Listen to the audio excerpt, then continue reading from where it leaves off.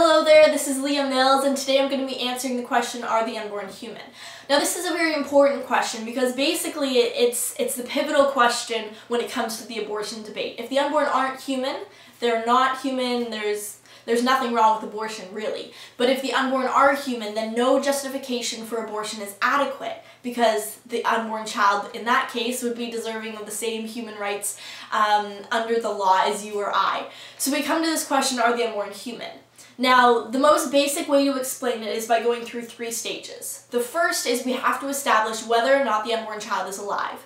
Now, we know that based on science that if something is growing, it's considered to be alive. So, at the moment of conception, sperm and egg cell meet, there's one cell, then as time passes, that splits into two cells, which, splits into four cells, and then eight. So we know that based off of basic science that the unborn child is alive.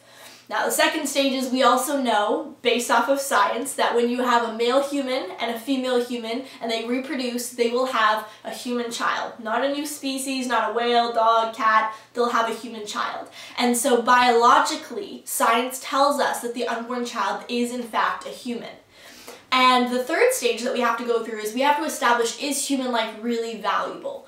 Now, if we look at society, society has laws that inflict punishment when someone uh, murders or rapes or assaults another individual. So we know based off of secular society that there is value placed on human life. So just based on this short time span, we've established that the unborn child is alive, human, and valuable based on society, or at least they should be considered valuable. Another fact that I can throw in is that, um, first of all, the unborn child has a completely separate DNA than, the, than his or her mother. Um, at the moment of conception, there's a new DNA that's never been seen before. And also, if you look at any embryology textbook, uh, the textbook will tell you that human life begins at the moment of conception. So while the different sides of the abortion debate have debated this for a long time, science is very clear that human life begins at conception. So, are the unborn human? Yes.